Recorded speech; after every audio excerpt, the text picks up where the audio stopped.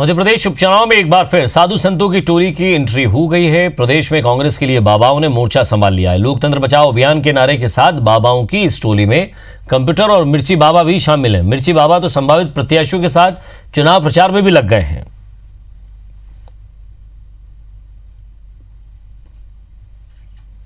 कोई भी साधु संत यदि कांग्रेस के पक्ष में, देश हित में, संविधान के हित में, लोकतंत्र के हित में यदि काम करता है तो उसे कोई रोक सकता है क्या? माननीय कमलनाथ जी का चेहरा ही इतना अभूतपूर्व नेतृत्व वाला चेहरा है कि हम उसके दम पर हमारी नैया ना केवल पार लगाएँगे, बल्कि भाजपा को अपदस्थ करेंगे।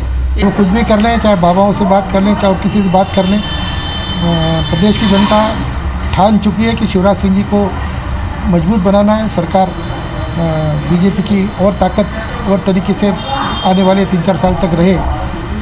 एकजुटी से जनता संकल्पित है। और मेरा मानना है कि इन सब हथकंडों से कोई असर पड़ने वाला नहीं है।